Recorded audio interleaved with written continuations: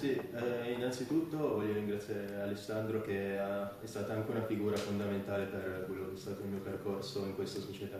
Comunque i miei genitori sono stati entrambi importantissimi perché sia la figura di mio padre che la figura di mia madre sono state fondamentali. Mio padre è stato fondamentale per insegnarmi la pallavolo, lui è stato un giocatore di pallavolo comunque che ha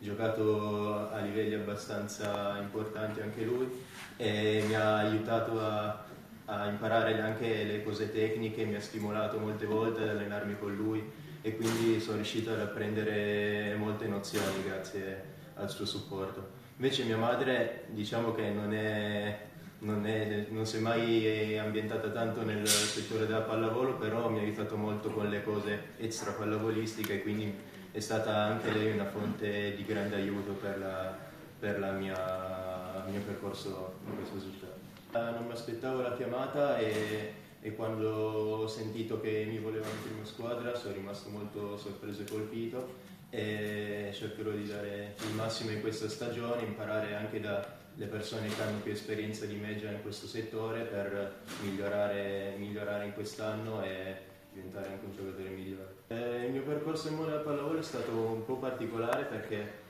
eh, diciamo che fino all'under 13-14 eh, non ero eh, compreso molto per eh, quanto riguardasse la squadra, non avevo una titolarità fissa, infatti facevo molta panchina e perciò sono, ho incontrato anche le persone giuste nel, nel, corso di questo percorso per far sì che potessi migliorarmi nel corso degli anni e anche avere poi eh, un posto da titolare ne, nell'Under 19 ad esempio di quest'anno che, che, mi ha fatto crescere molto. Sì, come avete visto negli ultimi due anni eh, abbiamo cercato di, di eh, ritornare fortemente sull'evoluzione del settore giovanile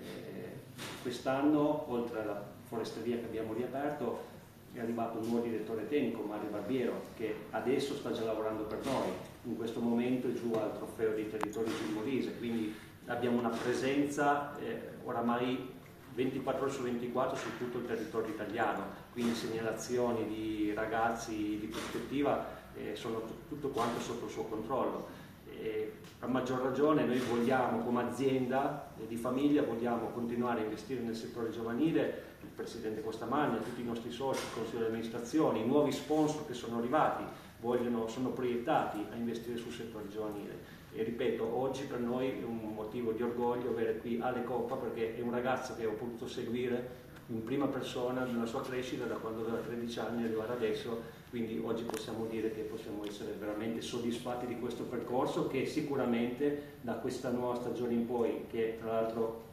confermo che il settore giovanile abbiamo già fatto una cronologia a partire dal 4 settembre, eh, ripartirà con eh,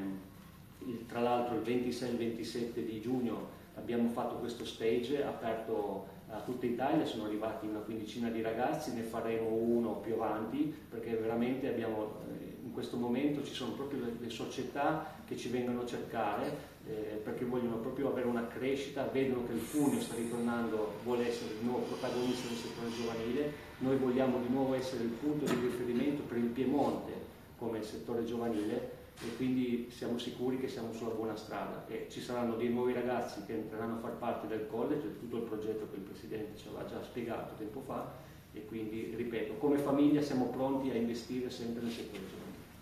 Io volevo coinvolgere anche tuo papà, so che, che magari è anche un po' emozionato, sicuramente non arrivi da un bellissimo momento, lo sappiamo tutti, però credo che hai avuto la grande soddisfazione no? di vedere questa azienda continuare grazie a tuo figlio, no? grazie ai tuoi figli. Credo che questo non accade in tante altre occasioni perché magari i figli prendono altre strade, insomma quello che poi i genitori costruiscono eh, deve poi finire e questo non è il tuo caso perché questa azienda è un'azienda importante grazie insomma, all'apporto anche di Alessandro, dei tuoi nipoti che insomma in qualche modo fanno continuare quello che è tua, i, tuoi, i tuoi sacrifici, no? Ma sì, eh, diciamo così, è una cosa bella perché hai creato, quindi vuoi continuare, però c'è anche la parte negativa, no? Che continuando lui, io purtroppo la mia pensione No, ma è anche bello quello perché non è che sono obbligato a venire qua a fare quello, però è quello che mi aiuta a, diciamo, a sentire meno gli anni, no? Certo. Anche se a volte mi incavolo eh, perché abbiamo mentalità diverse, quindi te- tecniche diverse, quindi... però è una cosa bella, fa piacere. certo.